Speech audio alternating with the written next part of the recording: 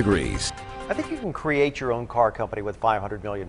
But they have a great attitude. What I meant was th- they say their life won't change all that much. That's really a smart move. Mm-hmm. Yeah. Just enjoy it, put it away.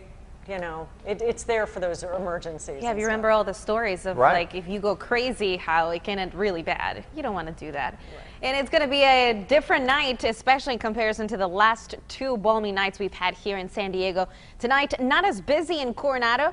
Although there are still some people enjoying the evening, it's still pretty nice out there. You travel a few miles up the road and you're going to find very different weather since rain is already moving into the county. The temperatures are dropping. It's getting cooler between 10 to 15 degrees cooler than 24 hours ago.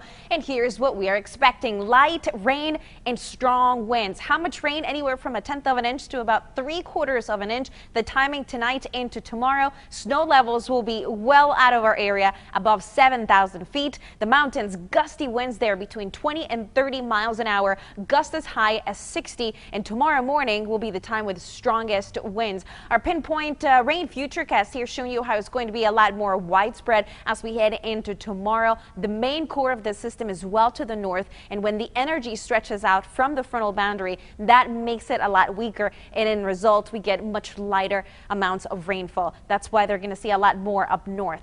But there could be some pretty steady rain showers, and that could create some slowdowns tomorrow morning. So I would advise you to take your time on the roads. Right now, as we speak, already we have to do that. From Oceanside to Encinitas, you can see that rain is starting to get um, actually propagate and move farther inland. Right along the 15 already starting to see some of the showers from Valley Center into Escondido. As we zoom south Encinitas also getting a touch of rain. Here in San Diego not much. It'll be right around 714 before we start to see that next cell moving into Chula Vista. Tonight temperatures will be right around 49 at Poway 51 Ramona. Looking at 60 in San Diego because of all the clouds temperatures will not be as cold overnight. And then tomorrow mid 60s as we make our way along the 15 Poway 68, 69 El Cajon, and 68 in Chula Vista.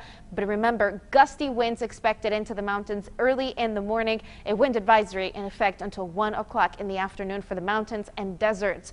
TGIT tomorrow 67 degrees with morning showers becoming drier on Friday, Friday and then warming things up over the weekend. Next week we'll shift back to our offshore flow and that means hotter temperatures coming back next week. So enjoy the cool down because 90s are on track for early next week.